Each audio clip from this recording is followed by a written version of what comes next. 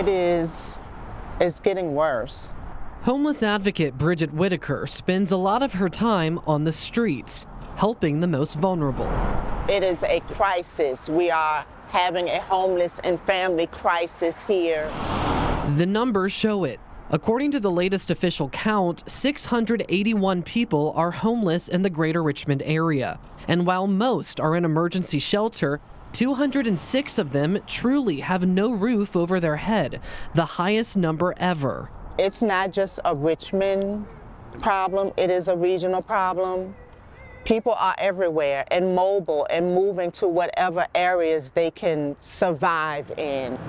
Historically, Richmond has fully footed the bill for its inclement weather shelter and soon to be year round shelter, despite people coming to the city from all over to utilize services. Stats from last year reveal that 49% of our region's homeless were from Richmond. 14% from Henrico and 8% from Chesterfield.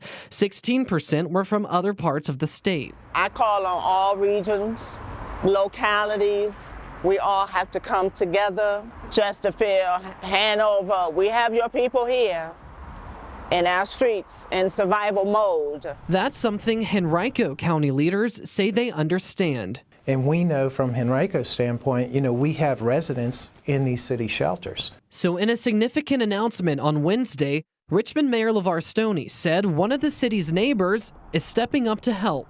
Our partners in Henrico County have recently committed to cover a quarter of the total cost of operating these new emergency shelters. Richmond shelters, which expand regional bed capacity, cost about $4 million annually to run.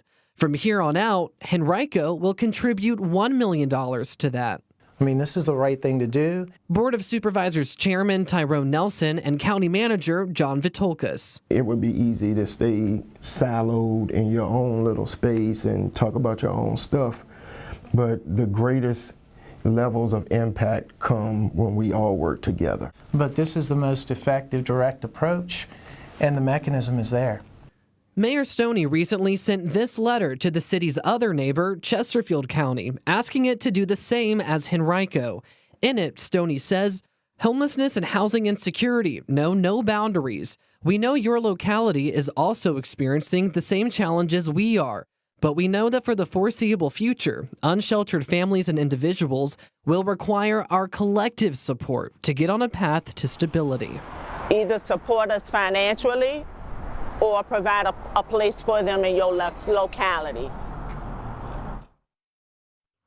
Now, the city tells me it has previously been in talks with Chesterfield County to ask them to join the city in this initiative. However, the city tells me that Chesterfield previously declined. However, in a statement I received today, Chesterfield tells me it is now reviewing the city's request and will respond accordingly. I'll make sure to stay on top of that to make sure what exactly that means. Here in Richmond, I'm Tyler Lane, CBS 6 News.